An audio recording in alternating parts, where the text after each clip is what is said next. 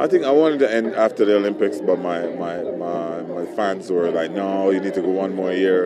A lot of them hadn't seen me competed yet, so they wanted, a few wanted to see me compete. So like, you know what, London is a big deal, and uh, it's a world championship, so I think it, it, would work for me also. So I decided that, you know what, let's do it at the, the London Olympics. So this season is mainly for my fans.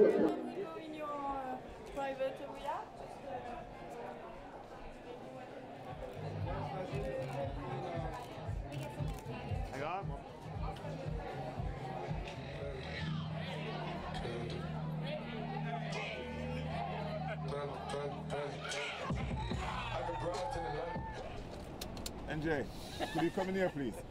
Yes, uh, thanks.